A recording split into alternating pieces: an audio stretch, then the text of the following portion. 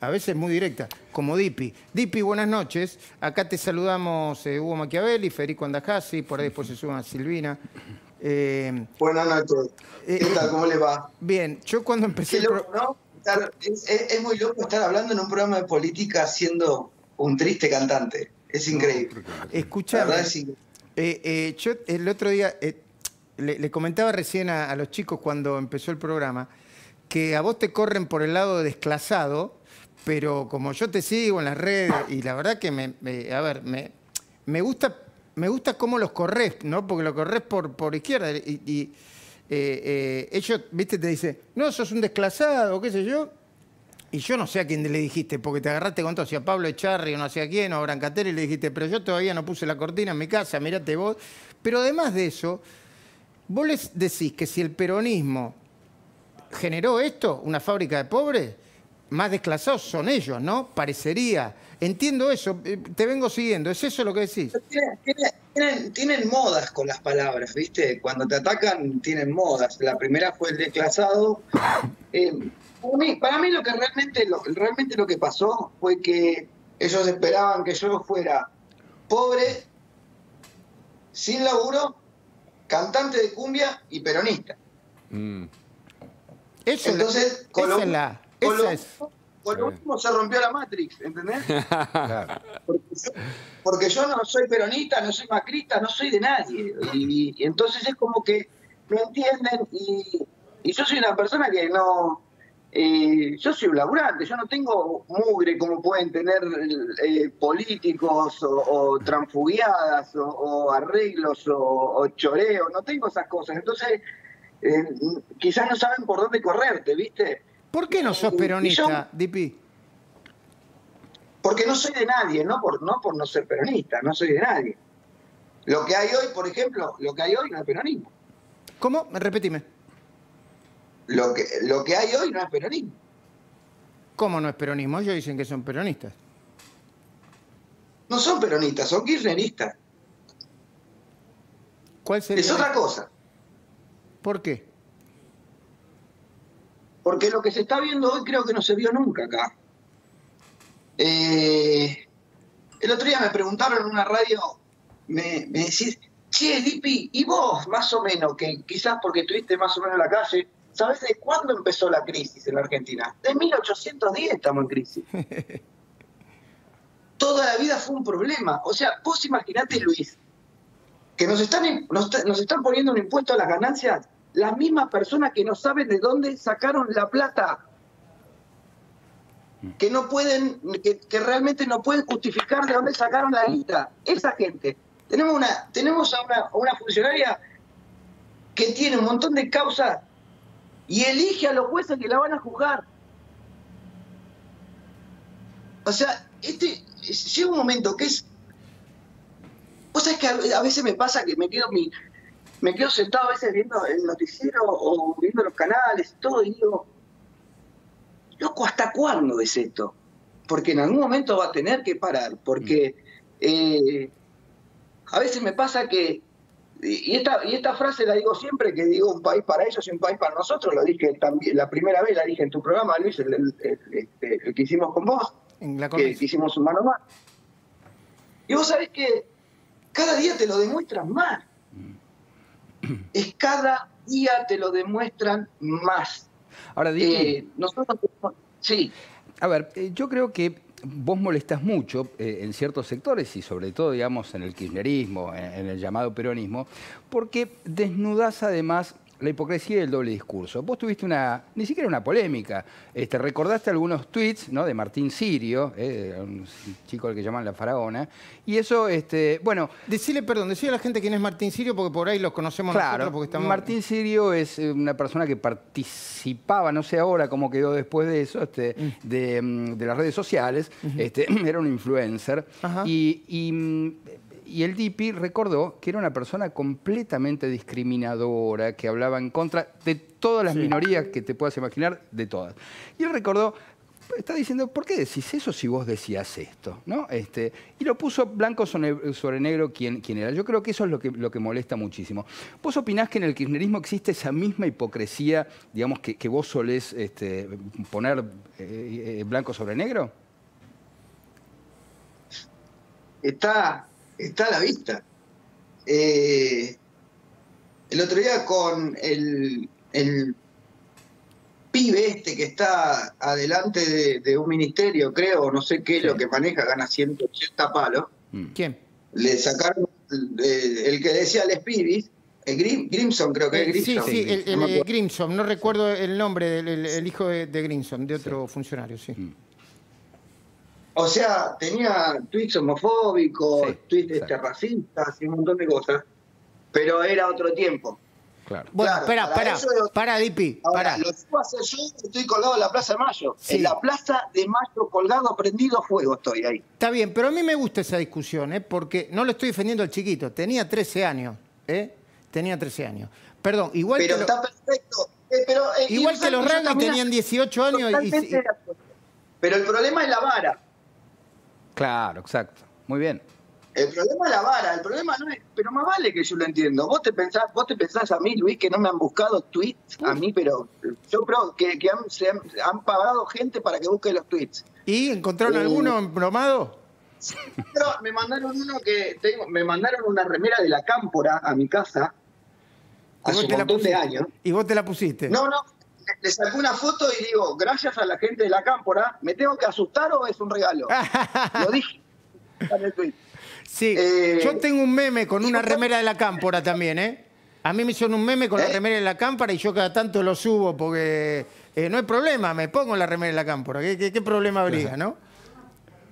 Mirá, yo, yo siempre digo esto y, y, tengo la camiseta de, de, la persona de bien, porque, viste, en Argentina están los pobres, los pobres buenos y los pobres malos. Nosotros seríamos los pobres malos en este momento porque si marchás vos sos un hijo de puta, pero si marcha el otro es por la patria. Y vos decís, loco, ¿qué? ¿Somos pobres? ¿Somos los pobres del otro costado?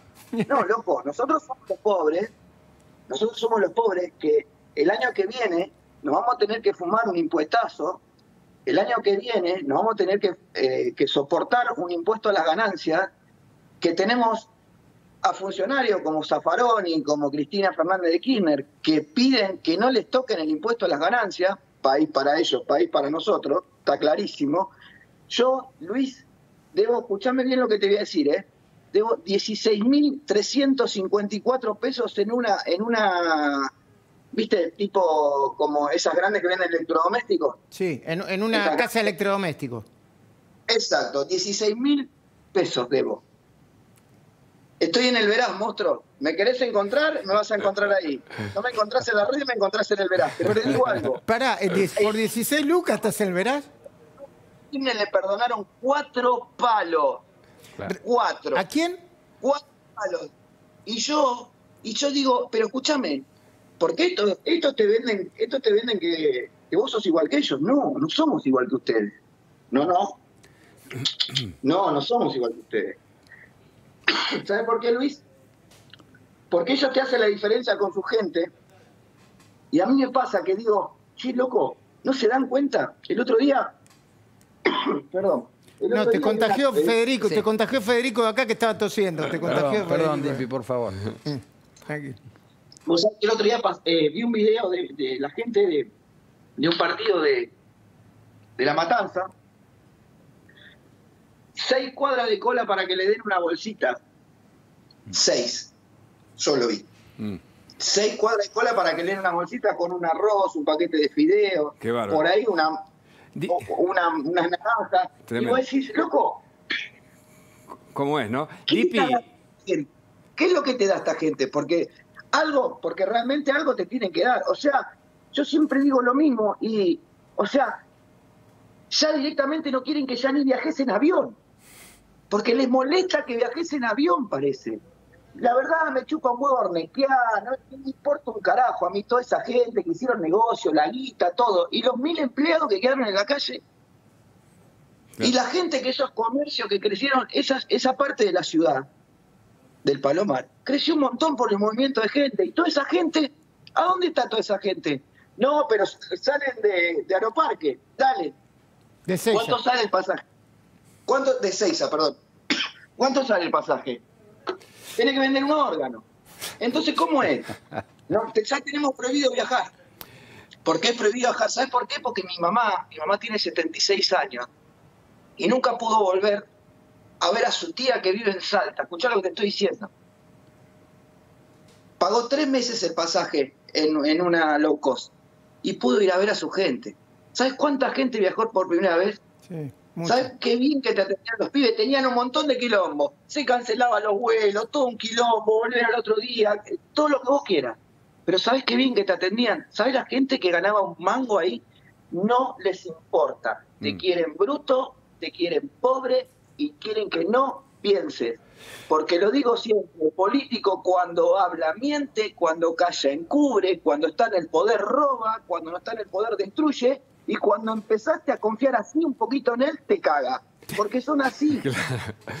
Tipi, eh, parece que para asegurar eso que vos decís hace falta la cultura. ¿En qué momento el kirchnerismo se apropió de parte de la cultura popular? Y a la vez, ¿hay otros dipis que no se animan a hablar como contracultura? Un montón, de dipis hay un montón. Lo que pasa es que a veces me dicen, eh, ¿por qué vos no le hablas a tus artistas, hay amigos que salgan a hablar? Porque yo no le manejo la vida a nadie. Cada uno tiene que hablar en el momento que tenga ganas y que quiera, y si no quiere, está bien, está perfecto. Lo que pasa es que después no hay que quejarse. Después no hay que quejarse.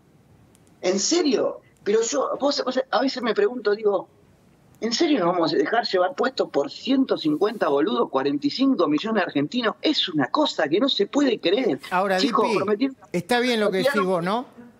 Está bien lo que decís vos. Ahora, cuando Pablo Charri sale a, marcar la cancha ideológica, sabe que tiene a unos 150 atrás de él. ¿Por qué te reís? No, digo. Eh, sabe que tiene unos 150 atrás de él que, que lo van a, que, le van a echar fuego a la, a la, a la parrilla al asado, ¿no? Sí. no, igual ahora me lo ahora ya me lo mandaron a Charry porque la, onda fue así, cuando la primera vez que me, que, me castigó por las redes le contesté de, todo. Que fue por esto del Spibis. Y cuando salió lo, de, lo del Spibis ahora con todos esos tweets, le dije, toma, Pablo, míralo bien, ¿viste? Y, y ahí me contestó. ¿Qué era el Spibis? ¿Qué era? Los, Spibis. Ah, el Spibis. Escucha, me mandaron al, al al cantante de La Mancha de Robando. El amigo de Vudú. Quieto. El... Que ahora debe estar algo de hambre porque se le acabó el tongo. Porque viste que son así, ¿eh? no tocan nunca, pero cuando están ellos, tocan todo, ganan un palo verde. Y vos decís, ¿dónde carajo? O sea, la música buenísima, bárbaro, y pero ¿cuánta plata? Yo una vez me, dijeron que había, que había un artista que cobraba, creo que 200 o 300 lucas, y dije, yo por 300 lucas voy, te hago el asado a la noche, te lavo los vasos. ¿Cuánto? ¿Por qué no ayudan a otros artistas? Ayuden a otros artistas. ¿Por qué no dejaron tirados a nosotros ahora? Nosotros estamos tirados. Nosotros fuimos los primeros en parar y los últimos que vamos a empezar. Ah, vos decís que hay artistas subsidiados y que ayudan y hay artistas que no. Luis, no. Me encanta, me encanta la cara de Luis porque Luis te dice, ¿En serio, Dipi? No, no, no, no, no. A ver, yo supongo, yo supongo que en ese aspecto no te deben contar las costillas, pero a ver, contame un poco, contame. Sí, sí. ¿Y cuántos artistas subsidiados que les pagan por hacer un palo o un palo por hacer un vivo de Instagram? Miles. ¿Un palo por hacer un vivo de Instagram? Vamos nosotros, Dipi. Pero por un palo, te hago un streaming de 48 horas. Sin parar. Pero vos decís, eh, ¿qué, loco, ¿no? Claro, se lo dan al que tiene la camiseta. Al que tiene la camiseta, al que se calla. Porque yo me acuerdo, hace mucho tiempo, no sé, no me acuerdo ni siquiera cuándo fue, que salieron todos a pedir, no, con los jubilados no. Sí, sí, no, no. la patria está en peligro, con los jubilados no, eso todo. 14 toneladas de piedra. Rompieron toda la ciudad hicieron un desastre. Me chupa un huevo que te Macri, ¿eh? No me importa. Porque si hubiera otro me daba lo mismo. Son 14 toneladas de piedra. ¿Y ahora? ¿A dónde están? ¿Qué pasó? Le taparon las, lágrimas con plata, porque si no, no se entiende. Porque, ¿cómo puede, loco, cómo podés dejar que pase esto? ¿Cómo podemos dejar que el otro día ascendieron a la ex mujer del presidente por el mérito, cuando dicen que el mérito no sirve acá.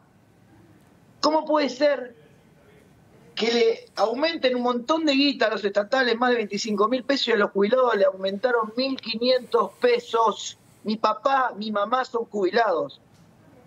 ¿A dónde está Brancatelli diciendo, no, con mis, con mis, con mis papis no te metas, eh, porque te metes con los jubilados, te metes con todo? ¿A dónde están? ¿A dónde está el que lloraba el dólar, el dólar a 43? ¿A dónde están todos esos? ¿A dónde están todos esos mentirosos? Porque son mentirosos, porque le mienten a la gente. Lo peor que le podés hacer a una persona es mentirle. Y los canales de televisión también son partícipes de esto, porque saquemos, yo creo que hay muy pocos periodistas que hablan neutralmente en la televisión. Yo te juro, he visto, esto lo he visto yo, ¿eh? Cambio, pongo. Dicen, la marcha de los contagios, muere, van a morir un montón de gente. Y pasás al otro canal y dicen, la marcha más hermosa del mundo. Número 13, y vos decís, ¿a quién le creo? Tiene que creernos a nosotros. Perfecto, pero ¿sabés qué pasa? La gente está asustada, la gente perdió todo. Y ¿sabés lo que pasa? Que esto están tirando la soga y encima parece una, viste, parece una serie de, y vos decís, parece una serie que no termina nunca, porque todos los días en quilombo distinto. Sí. Todos los días tienen un problema. Todos los días, todos los días nos pasa algo. Todos los días nos levantamos con una historia distinta. Todos los días nos levantamos con una mentira distinta. Porque hace tres semanas, ¿desde cuándo están prometiendo 10 millones de vacunas? Sí. Perfecto. Todos los mejores países del mundo arreglan con Pfizer. Nosotros no pudimos. ¿Por qué? No, problema con los aviones. Tenemos una de las mejores aerolíneas, supuestamente, según ustedes, de Latinoamérica. Equipar los aviones y mandalo y anda a buscar la vacuna, monstruo. No, pero en todos los mejores países se ve que hay algún tonguito que no cierra, entonces no está la fotito, ¿viste? Como, no, no me cierra. Loco, no tienen que vacunar. ¿Quién carajo se creen que son ustedes? ¿A quién se comieron? Entiendo. Dipi, que... Dipi, querido, la seguimos en otro momento, pero, pero me gusta escucharte siempre, ¿eh? Estás en el Veraz, te voy a googlear a ver si te encuentro en el Veraz, ¿eh? Por favor, me sale. Vos sabés que pedí el otro día el informe del, del Veraz cuando me dijeron cuando salía, le digo, no, déjame ahí, déjalo que siga ahí. No, Gracias, Dipi. Si no me encuentran en las redes, en el Veraz me encuentran seguro. Bueno, nos vemos. Porque, porque vi 16 lucas, ¿no? Qué bárbaro, qué cosa, qué cosa eh, fuerte la que dice. Bueno, Ahora, todo esto sucede en el medio de una economía que se cae a pedazos. Eh, y en el medio de agendas locas, ¿viste? A ver, por ejemplo, hay algunos funcionarios y exfuncionarios que siguen pendientes, pendientes de una agenda que les importa solamente a ellos, sus intereses particulares. Hoy se conoció el dato de que la economía cayó un 10.2% con respecto al mismo trimestre del año pasado y que acumula una baja, escucha bien, de casi el 12% anual, récord en toda la historia de la Argentina. Pero el secretario de Derechos Humanos, Horacio Pietragala, denunciado por enriquecimiento ilícito, este dato parece importarle poco y nada. Está más preocupado en evitar que las causas de corrupción contra Cristina, como decía Dipi, sigan avanzando. Esa es su preocupación. Y en vez de ocuparse, explicar, porque tiene que explicarlo a su funcionario público, si se enriqueció o no de manera ilícita, según una denuncia que ingresó Comodoro Pi, que se está investigando, que instruye, se preocupa por subir a Twitter afirmaciones y videitos sobre el famoso tema del lofer. Pon el tweet primero. Desde que mismo, dice un funcionario, denunciamos que el lofer está instalado en Argentina y en la región. El poder real, ¿cómo poder real? El poder son ustedes, Horacio Pietragala, Corti. El poder real sigue invistiendo y resistiendo a nuestro proyecto político. Junto a Alberto Fernández y a Cristina seguiremos reconstruyendo un país para todos, le duela a quien le duela. ¿Y qué hace? Recorta una de las tantas cosas que dijo Alberto Fernández sobre la justicia y sobre el lofer y la pone y es así. En la Argentina hay detenciones arbitrarias que no deben seguir ocurriendo. Mucha de esa gente lleva años de encierro innecesariamente, porque la ley procesal le permitiría soportar esos juicios en libertad.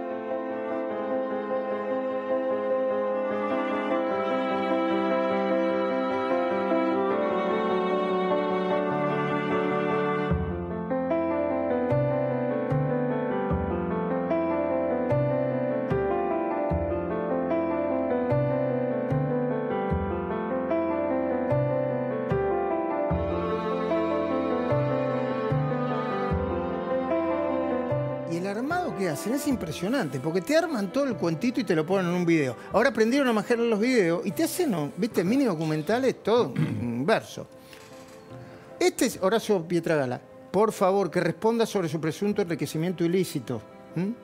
Que explique por qué estaba subido en el velatorio de Maradona, arriba de la, de la reja, rejas, funcionario público. Pero como si esto fuera poco, el abogado de Julio Devido, a falta de pruebas, eh, Rusconi, Maximiliano Rusconi, a falta de pruebas que demuestran su inocencia, también pidió, atención porque están todos pidiendo un indulto al presidente, ¿eh? están pidiendo indulto a los locos, también pidió, pidió un indulto presidencial para todos los condenados por corrupción. O sea que le dice al presidente, andá y ah, no pudiste arreglarme la impunidad, habíamos vos presidente, Cristina vice y no nos pudiste arreglar la impunidad, dame el indulto ahora. Lo están presionando fuertemente al presidente. ¿eh? ¿Habrá que aceptar también que los abogados de Cristina y de la mayoría de los funcionarios K son unos improvisados? ¿O más bien hay que pensar que cometieron tantos delitos y tan evidentes que no tienen ninguna chance para ganar los juicios?